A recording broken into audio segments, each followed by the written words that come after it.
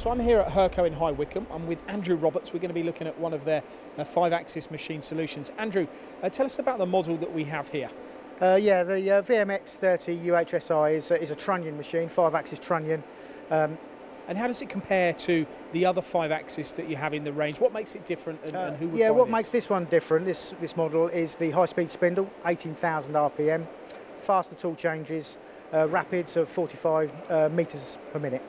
And what can the machine handle in terms of the size of parts? Yeah, it's a 250 mil diameter table, but we can actually rotate a, a, um, a part with 420 mil diameter on this, this table.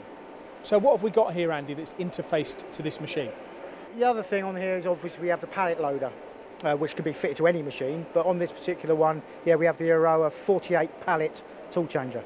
So the, the, the key to this is then is the unmanned running hours, right, isn't it? Yeah. What makes it different from other machines maybe is that um, we have a thing called job list, so we can load like 48 different jobs onto 48 different pallets and run them lights out. So you're housing all the programs in the control, and then the communication from the hardware to the software is is will pick the right one at the right time. Yeah, that's right. We use a, a, a piece of software called uh, Hurco Job List, and we just load in which pallet number we want to pick, and then the relevant program with that pallet in any order you like.